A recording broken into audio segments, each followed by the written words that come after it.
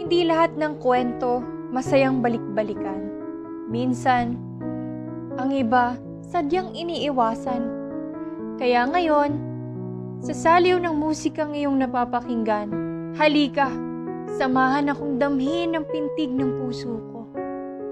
Samahan mo akong balikan ang kwentong bokasyon ko. Sa una pa lang, wala naman akong ibang ginugusto. Maliban sa pag-aalay ng aking sarili sa Diyos na pinakamamahal ako. Masaya ang buhay, pero mas masaya ang mabuhay kung sa Diyos ito ay iaalay. Labing walo.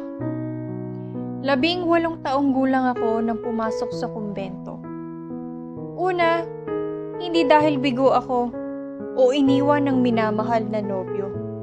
Pangalawa, hindi dahil bored ako at walang magawa sa mundo.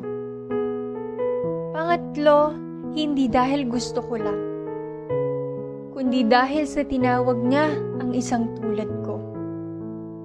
Apat, apat po silang hindi payag sa desisyon ko.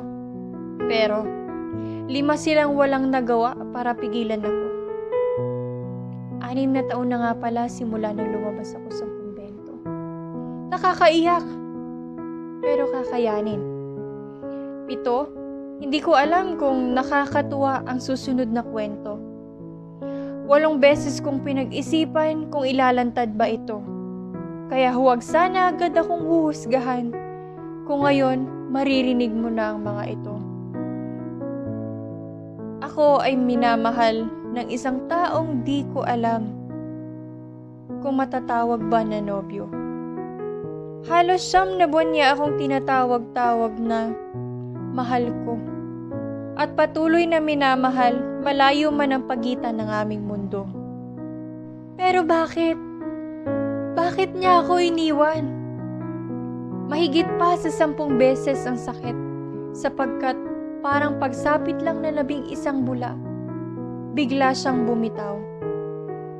Mahigit pa sa labing dalawang beses ko inisip ang mga dahilan araw-araw kung bakit nasabi niyang ako ay mas mahal niya pero sa Diyos siya ay nagpakasal. Labing tatlong beses ko mang iwasang pakaisipin ang lahat ng ito. Doble pa sa labing apat ang panunumbalik nito. Labing lima, hindi ko na alam kung bibitaw na rin ba. Sapagkat ang Diyos na pinakamamahal ako, ang mas nagmamahal sa taong minamahal rin ako. O Diyos, itulot mo ang pagsapit ng ikalabing anim na araw sa buwang ito, ay maglaho na ang lahat ng mga pangamba ko. Dahil kung labing pitong beses man akong muling mabubuhay, asahan mong buhay ko'y sa iyo pa rin, patuloy na iaalay. Hindi po dahil nabigo na ako, kundi dahil mas pinakamamahal mo ako. Salamat Diyos! Nabuwag man ang aking pangamba na sa paglabas ay magmahal sa iba. Hindi niya ako hinayaan. Hindi niya ako pinakawalan. Siguro, pinaglapit kami ng Panginoon, hindi para pakasalan ng isa't isa, kundi para matulungang palalimin ang aming bukasyon. Nang sa huli, sa Kanya pa rin mulit-muling tutugon. At sa altar pa rin, sa Kanya parehong hahantong.